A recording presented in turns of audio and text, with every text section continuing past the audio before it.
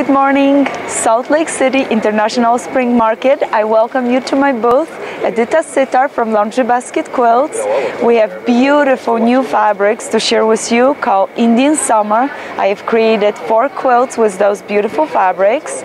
We have 18 just spectacular prints and gorgeous 22 batiks that would steal your heart. And I this year concentrate on a fun patterns that you could use as a block of the month. One of the patterns is right here called Hay Bale.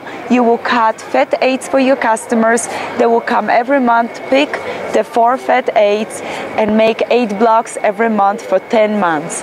Bale right here.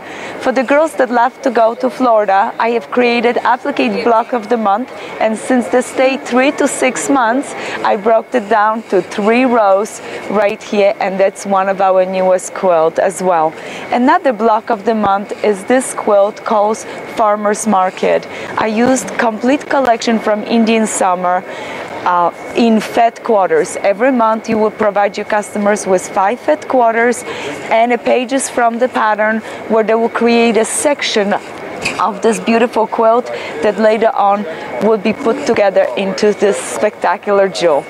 Another quilt that I have created called Hay Wagon Wheel and that pattern